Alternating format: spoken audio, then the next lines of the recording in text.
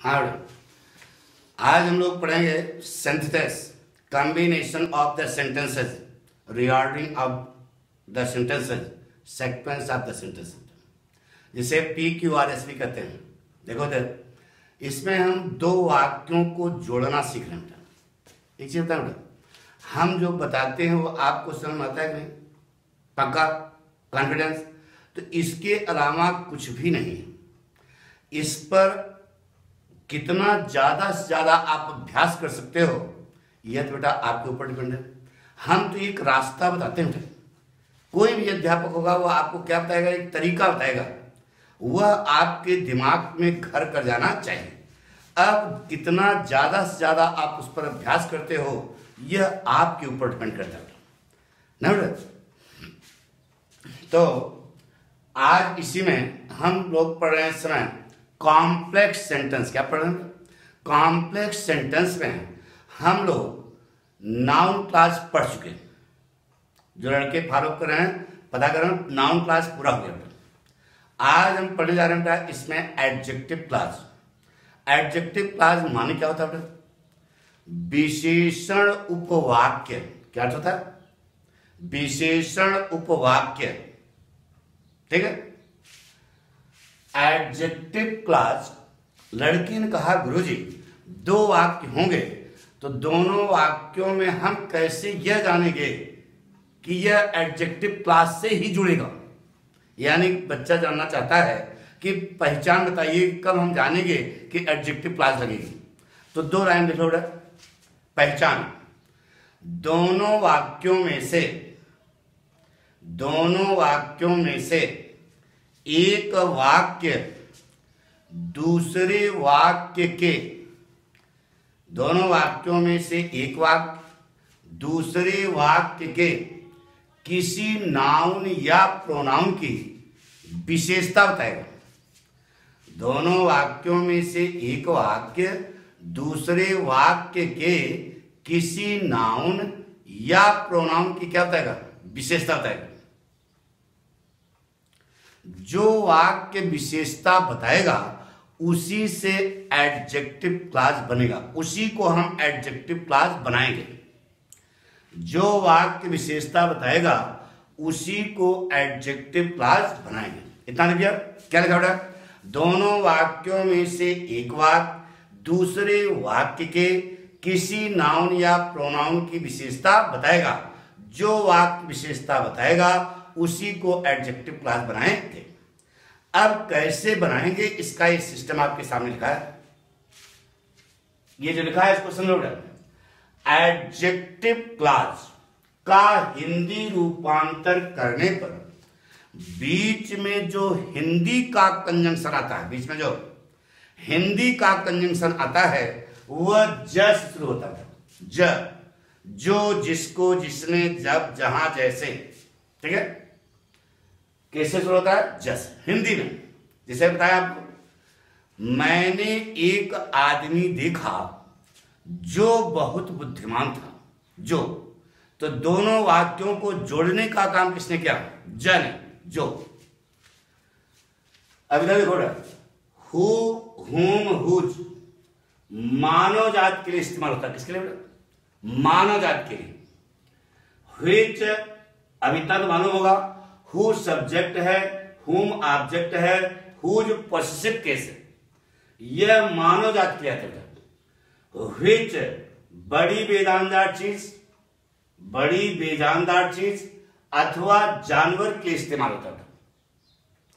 इसके तीन रूप हैं। देखो यहाँ लिखा विच विच आप विच विच माने जो विच माने जिसको, आप विच माने। जिसका जिसकी। ऐसे हु माने? हु माने? जो। हु माने जिसको। हुज माने जिसका जिसकी। यह सब्जेक्ट है या ऑब्जेक्ट है ये पश्चिम कैसे मिलता है उसी ढंग से विच के भी तीन रूप चलते हैं विच विच आप विच विच माने जो, इस विच माने जिसको। आप फिक्स माने होता है, जिसका, जिसकी, उसका पसी कैसे होता है, आप फिक्स। दैट जो है, ये छोटी वेदांत कर यह केवल सब्जेक्टिव फॉर्म होता है, इसका ऑब्जेक्टिव और पॉसिटिव रूप नहीं बनता। तो दैट माने जो। प्लेस के बाद क्या लगाओगे? फेयर फेयर माने लिख लो, जहाँ। फेयर माने जहाँ। वैसे हम लोग जानते हैं फेयर माने कहाँ। लेकिन यहाँ अर्थ आएगा क्या? जहाँ। रीजन के बाद वाई वाई माने लिख बेटा वाई माने? क्यों? नहीं। यहाँ पर आएगा जिससे या जिसके कारण। टाइम के बाद वेन वेन माने होता है बेटा जब। से हम लोग जानते हैं कब। लेकिन वास्तव में यहाँ पर क्या होगा? जब। दैट का चैप्टर अलग से बताया जाएगा, जिसमें एक दिन, एक एपिसोड पूरा लगे उठे इतना समझ गया? तो हम पढ़ने जा रहे हैं आज एडजेक्टिव क्लास ये जो आप एडजेक्टिव क्लास बनता किससे उठा इसको जान लो। ये रिलेटिव प्रोनाउंस बनता उठा किससे बनता? रिलेटिव प्रोनाउन माने संबंध सूचक सर्वनाम। ये जो आपके सामने लिखा है, क्या who whom whose that why when ये सब है रिलेटिव प्रोनाउन क्या बेटा संबंध सूचक सर्वनाम। इसी से बनती है एडजेक्टिव क्लास इसी को हमने ये क्लासिफाई कर रखा बेटा हु। हुम हुज हिच हिच आप हिच दैट यह नीचे जो बना है यह पर्सनल प्रोनाउन का चार्ट है, क्या person subjective objective question I we you he she it they इन्हीं के फॉर्म हैं। I me my we us our you you your he him his she her her it its its they them their, ठीक है? अब अब वाक्य आपको सिखाने जा रहे हैं, कैसे बनेगा? एडजेक्टिव क्लास कैसे बनेगा?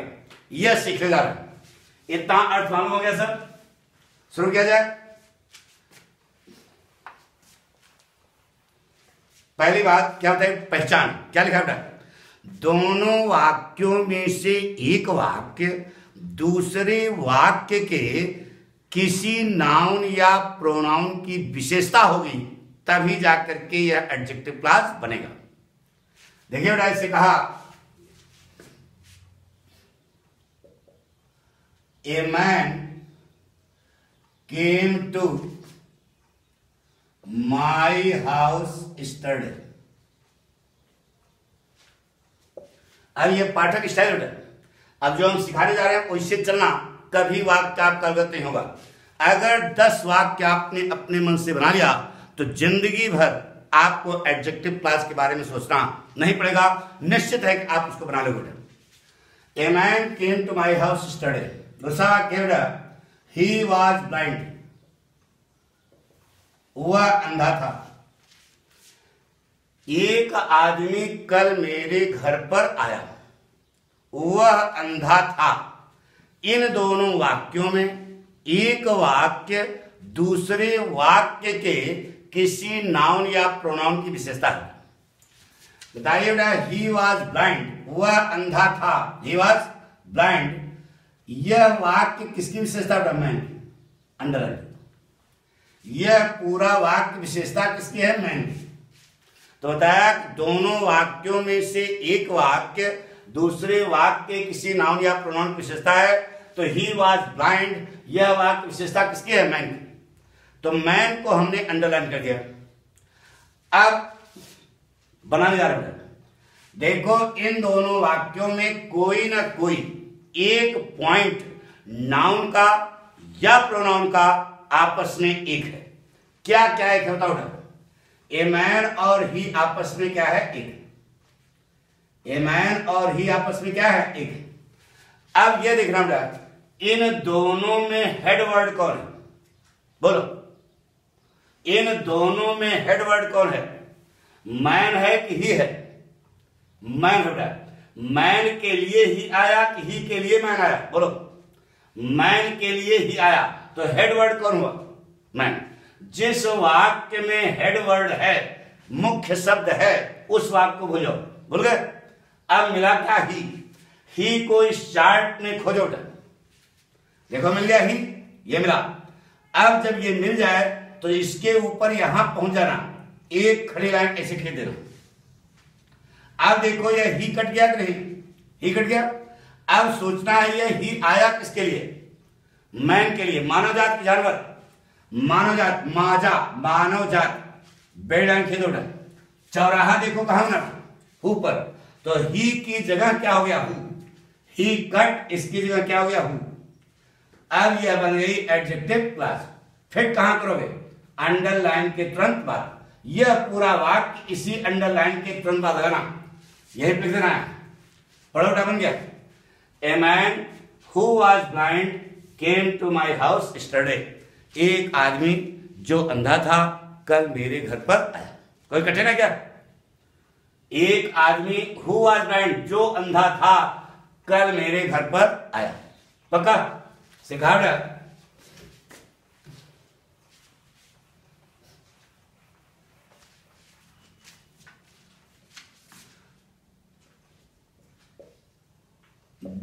No Vikramaditya.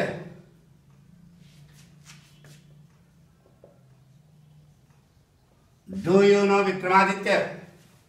दुशाघ्य he was the greatest judge.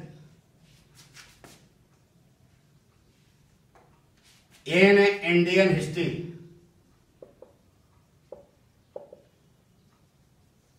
ये दो वाक्य में। इन दोनों वाक्यों में पहले ये देखो, कोई ना कोई एक पॉइंट नाउन का या प्रोनाउन का आपस में एक है। क्या क्या है खेड़ा विक्रमादित्य। और ही। ये दोनों आपस में क्या है? एक तो बताइए, इन दोनों में हेडवर्ड कौन है? विक्रमादित्य। जिस वाक्य में हेडवर्ड है, उस वाक्य को भूलो। छोड़ दिया। मिला क्या? ही। ही को इस चार्ट में खोजो। मिला।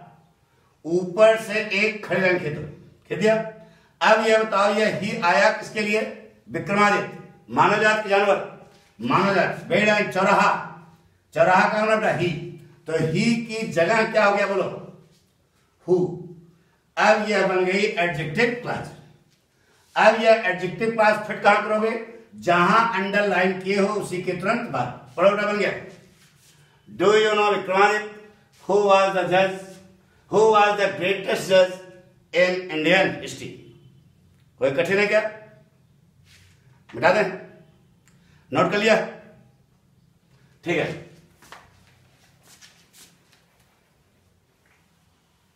बहुत सरल है देखो जिसे कहा। इट इज़ आई दूसरा वाक्य आई एम योर फ्रेंड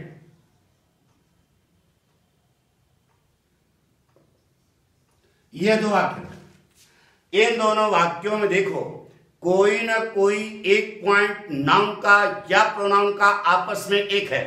क्या क्या एक है बेटा? आई आई आपस में है बताइए दोनों में हेडवर्ड कौन है? इस आई के लिए आई आया, किसके लिए आया? यह यह हेडवर्ड हुआ। इसके लिए यह आया। तो अनहेडवर्ड को छोड़ो अंडरलाइन करके हेडवर्ड को छोड़ो। अब उससे संबंधित मिला आई आई मिलेगा। जहाँ मिल जाए उसके ऊपर से खड़े लाइन खींच देना। खींच दिया। आई कट गया। अब यह देखो यह आई, आया किसके लिए? मानव जात के लिए, जानवर के लिए। अरे, मन ही तो बोलेगा। तो मानव जात के आएगा तो हु तो आई की जगह क्या हो गया हु यह बन गई एडजेक्टिव क्लास फिर कहाँ करोगे? अंडरलाइन के तुरंत बाद। पढ़ो क्या बन गया? It is I who am your friend कोई कठिन है क्या? से कहा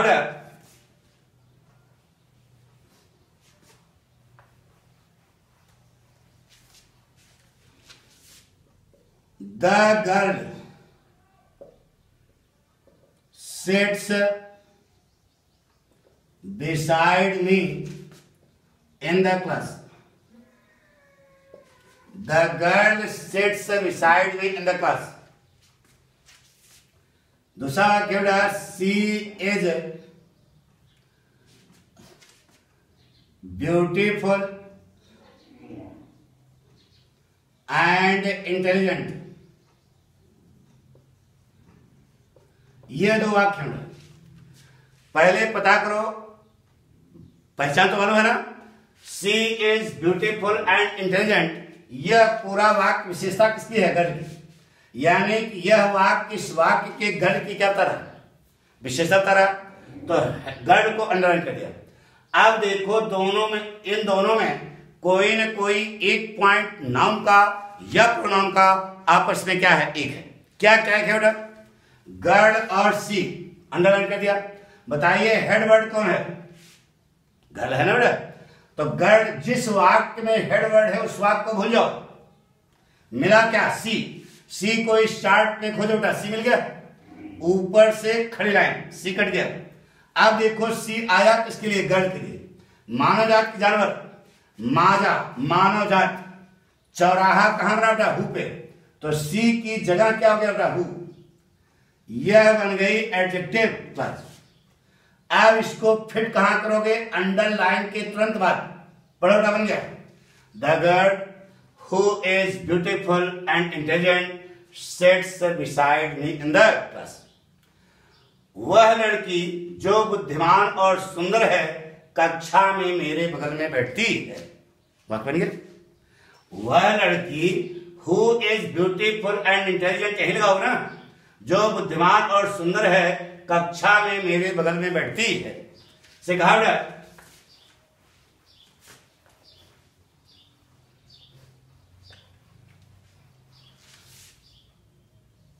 the police arrested the man police ने उस आदमी को गिरफ़्तार कर लिया। दूसरा के he killed a child study उसने कल एक बच्चे को मारा the police arrested the man he killed a child study पहले आपको यह पता करना है कि दोनों वाक्यों में कौन सा नाउन या प्रोनाउन है जो आपस में एक है। क्या क्या एक है बताओ। द मैन और ही आपस में क्या है? एक। हेड वर्ड कौन है? मैन जिस वाक्य में हेड वर्ड है, उस वाक्य को भूलो। पूरा वाक्य छोड़ो। मिला क्या ही? ही कोई शार्ट में खोजो। ऊपर से खड़ी लाइन। ही कट गया। अब यह ही आया किसके लिए उड़ा? मैन के लिए। मानव जात जानवर।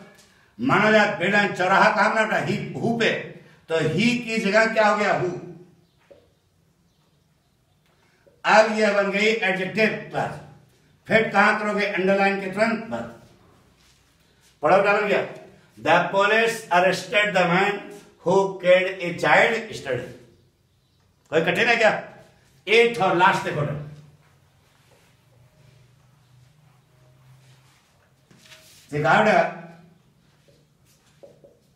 the teacher punished the students अध्यापक ने विद्यार्थियों को बुक दिया। The teacher punish the students दूसरा वाक्य था, देवर देवर नाटी। देवर नाटी। अरे हरानी पीस मतलब वही नाटी। यह वाक्य, इन दोनों वाक्यों में एक वाक्य, दूसरे वाक्य किसी नाउन या प्रोनाउन की विशेषता उठा देवर नाटी, वह शरारती थे। यह वाक्य किसकी विशेषता स्टूडेंट्स की। पक्का? अब देखो दोनों में कॉमन क्या है? नाउन या प्रोनाउन स्टूडेंट्स और दे। हेड वर्ड कौन है?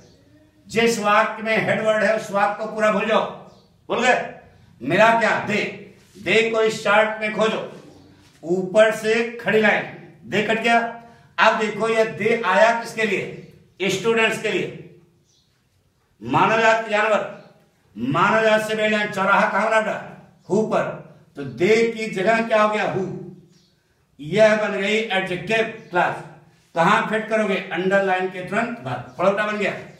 The teacher punish the students who are naughty कोई कठिन है क्या? बताओ। आ गया समझ पक्का? कॉन्फिडेंस बाकी हम आपको अगले एपिसोड में और आगे क्लियर करेंगे। तब तक इसको देखिए।